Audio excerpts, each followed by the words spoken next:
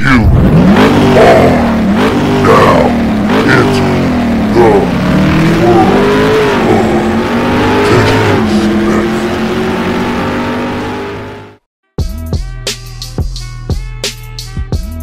Welcome to So Disrespect.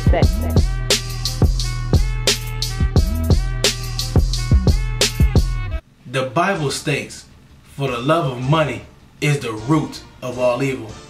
This is proven by the embarrassment of one of the best receivers in the NFL and recently released from the Oakland Raiders, Antonio Brown.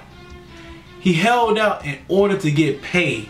Now he lost his money and reputation.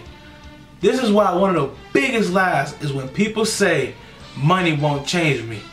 To quote the great Ted DiBiase, everybody's got a price. Antonio Brown got his money, show his true colors, and the Raiders show him that rectangular figure called the door. Now with the Patriots, we will see if AB is right for NE.